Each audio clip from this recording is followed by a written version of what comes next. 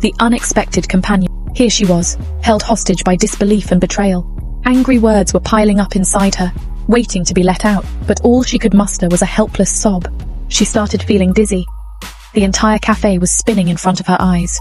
Shutting her eyes tight, she counted one, two, three, hoping it would pull her out of this terrible nightmare. Yet, as she slowly opened her eyes, everything remained as it was. The same cafe, a cup of coffee lying cold, and the man she had devoted ten years of her life to, sitting in front of her. He was the love of her life, the man she had shared her dreams with, the man she had loved deeply. And yet, just a few minutes ago, that very man did not so much as flinch, while announcing his decision to end things between them.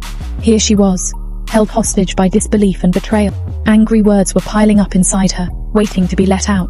But all she could muster was a helpless soul. She knew she had to get out of there before turning into a heartbroken mess.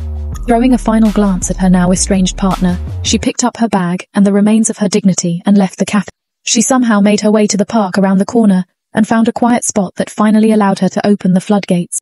Drowned in tears, she suddenly felt something warm and fuzzy curling up at her feet. She looked down, only to find a small bird with a broken wing, struggling to take flight.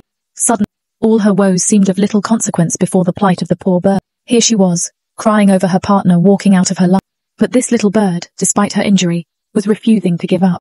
Without wasting another moment, she gently picked up the bird and wrapped her scarf around it. Her grief was now taken over by compassion, and she knew what really mattered now, to nurse the little bird back to health.